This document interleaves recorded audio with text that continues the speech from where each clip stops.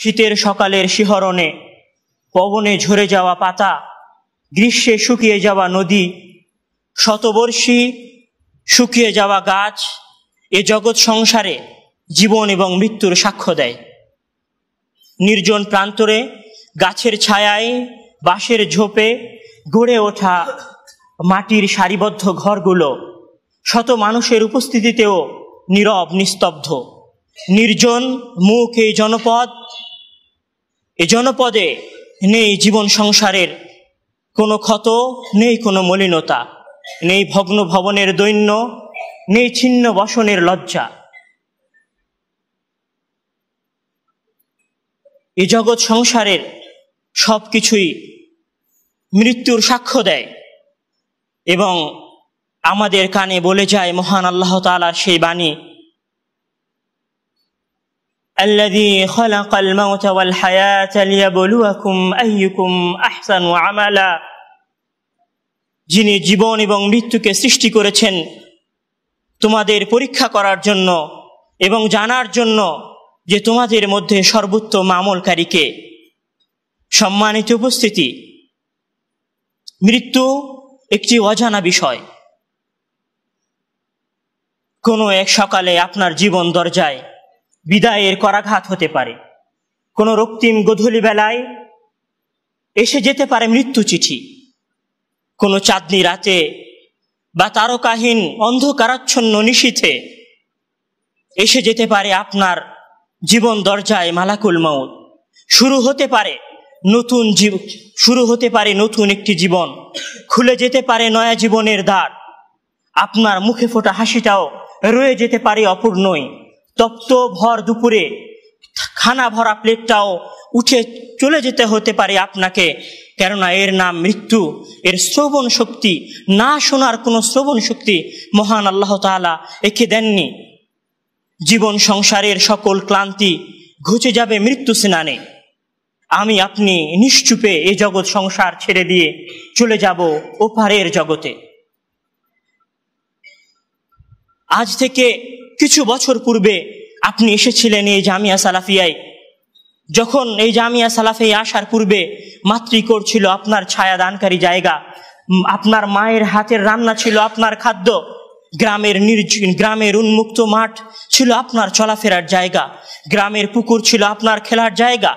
আজ থেকে মাত্র চার বছর পূর্বে আপনার নাম ছিল শিশু। আপনাকে মানুষ বালকের মধ্যে সুমার করত। কিছু দিনের মধ্যেই লোক আপনার কাজ বালক বলে না, ধ্রুব তারার ন্যায় দীপ দীপ্ত, পরিতৃপ্ত, উদ্দীপ্ত যুবক আপনি। এভাবে একদিন আপনার জীবন নিঃশেষের দিকে এগিয়ে যাবে। আপনি পূর্ণ বয়স্ক বলে পরিণত হবেন। কিছুদিন পর হয়তো কোনো আপনার স্নেহ ভরা বাহিতে কোনো স্নেহপ্রিয় বালক দাদু বলে ঝাঁপিয়ে পড়বে। এভাবেই আপনার জীবন চক্র অন্তিমের দিকে এগোতে থাকবে। আপনার জীবন শেষ হয়ে যাবে। এভাবেই আপনার অজান্তে কখন আপনি পাড়ি জমাবেন বলতে পারবেন না। শুধু আপনার প্রিয় মানুষগুলো আপনার মৃত্যুতে নিজের আত্মাকে সন্তুষ্ট করার জন্য বলবে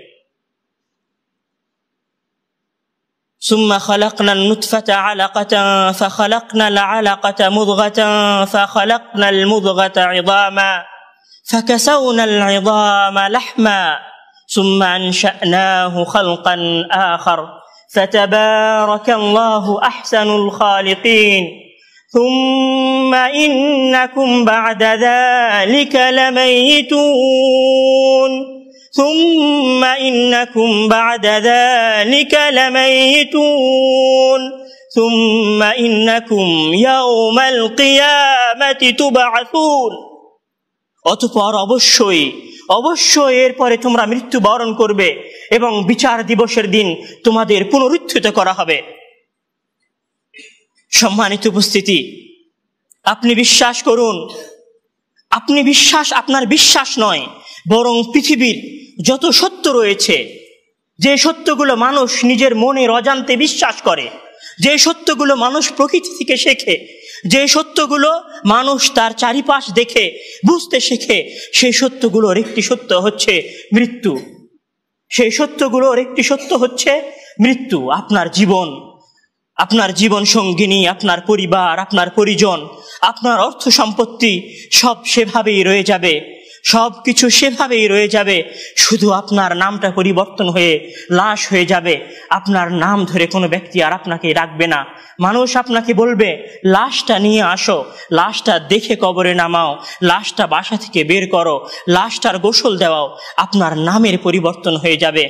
আপনার শরীর, আপনার হাত পা চোখ সব আগের মতোই থাকবে সব কিছু আগের মতোই থাকবে, শুধু থাকবে না তৃপ্তি অতৃপ্তির পানে চাওয়া, শুধু থাকবে না আকাঙ্ক্ষার ক্ষোভ, শুধু থাকবে না আকাঙ্ক্ষার ক্ষোভ, শুধু থাকবে না তৃপ্তি অতৃপ্তির পানে চাওয়া, আপনি এই পৃথিবীকে ছেড়ে কোনো একদিন, কোনো অজানা সময়ে চলে যাবেন। হয়তো আমার এই কথাগুলোই আমার জীবনের শেষ কথা হতে পারে।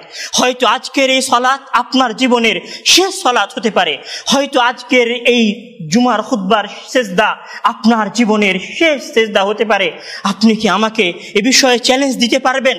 আপনি কি আমাকে গ্যারেন্টি দিতে পারবেন যে আপনি জানেন আজকে এই মসজিদে সলাত আদায় করার পর আপনি রুমে ফিরে যাবেন? আপনি কি জানেন? আজকে দুপুরে আপনার যেই আরামের ঘুম, সেই আরামের ঘুমটাই আপনার জীবনের চিরনিদ্রা হবে না। আপনার মুখে ফোটা এই হাসিটুকুই যে আপনার জীবনের শেষ হাসি হবে না, তার কি কোনো গ্যারেন্টি আপনার কাছে আছে?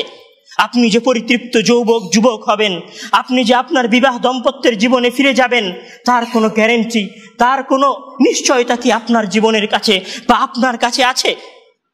মহান আল্লাহ তালা বলছেন কুল্লু নাফসিন الموت وإنما توفون أجوركم يوم القيامة فمن زحزح عن النار فمن زحزح عن النار وأدخل الجنة وأدخل الجنة فقد فاز وما الحياة الدنيا وما الحياة الدنيا إلا متاع الغرور وما الحياة الدنيا إلا متاع الغرور كل نفس ذائقة الموت অবশ্যই প্রত্যেক মানুষ প্রত্যেক নাফস, প্রত্যেক জীবিত সত্তা, প্রত্যেক জীবিত যান মৃত্যুর স্বাদ আস্বাদন করবে।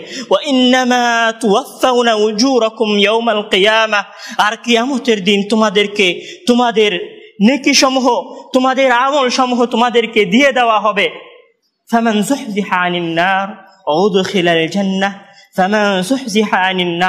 زحزح عن النار وأدخل الجنة فمن زحزح عن النار যাকে আগুন থেকে বাঁচানো হবে ঔদখিলাল জান্নাতা জান্নাতে প্রবেশ করানো হবে ফাকাদ ফাস সে ব্যক্তি সফল ওমাল হায়াতুদ দুনিয়া ইল্লা মাতাউল গুরুর আমাদের এই জীবন তোমাদের এই জীবন শুধুমাত্র ধোকা ছাড়া আর কিছুই নয় মহান আল্লাহ তাআলা আরো বলছেন কুল্লু নাফসিন যায়িকাতুল মাউতি ওয়া কুল্লু নাফসিন যায়িকাতুল মাউতি থুম্মা ইলাইনা তুরজাউন সকল মানুষই সকল জীবই মৃত্যুর স্বাদ আস্বাদন করবে।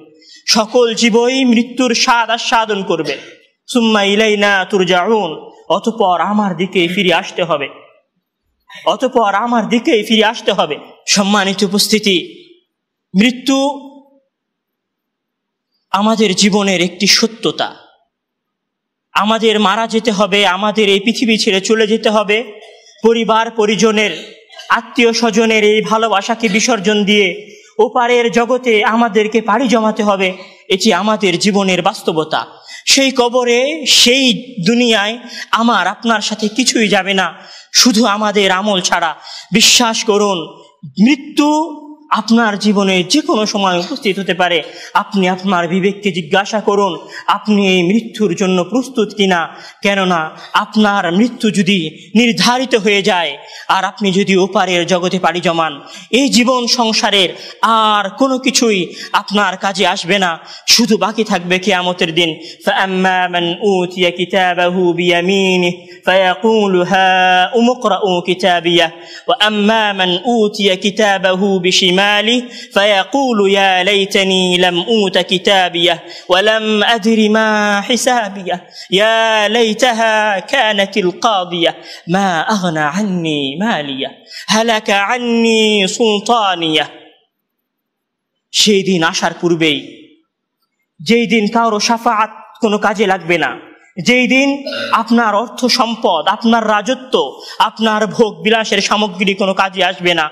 সেই দিন আসার পূর্বে প্রস্তুতি গ্রহণ করুন। কেননা আপনি জানেন না আপনার মৃত্যু কখন উপস্থিত হবে।